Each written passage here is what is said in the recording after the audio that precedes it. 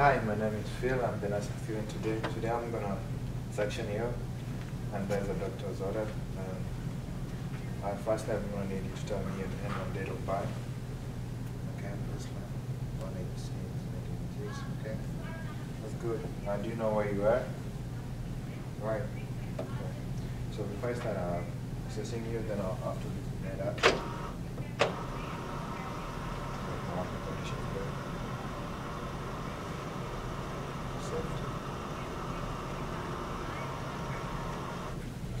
Um, suctioning is just um, after doing the assessment first to check out where whether you need that suctioning, but it's gonna be a little bit traumatic, but we'll be fine. I'll try my best not to make it hard.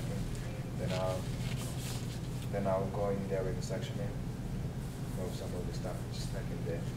So my partner here will help me do the uh, assessment.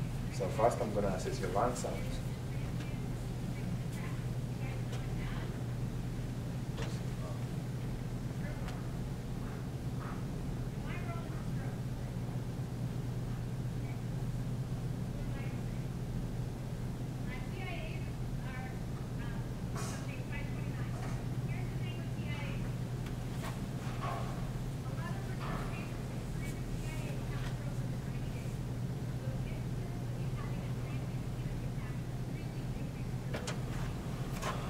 Louder.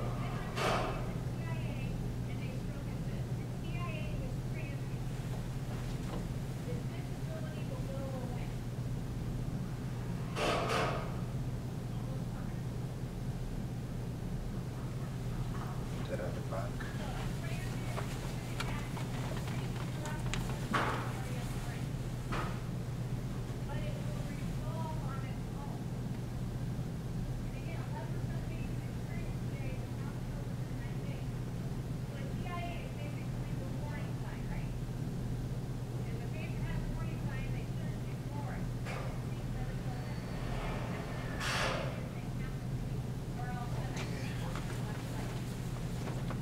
I could hear crackles at the top, at the posterior lobe of the lungs.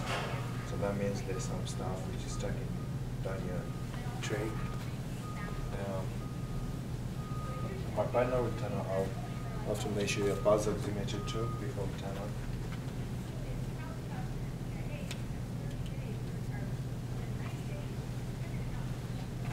While measuring the pulse oximetry, I have to weigh our pulse.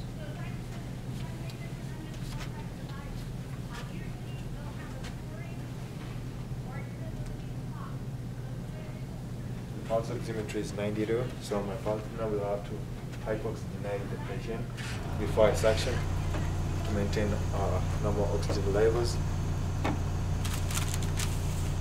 I'll open my kit.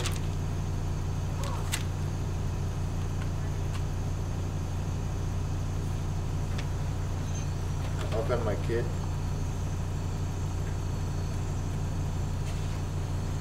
Do you know what I've done? I poked. I'm so sorry, man. That's right. What'd you do? I poked inside.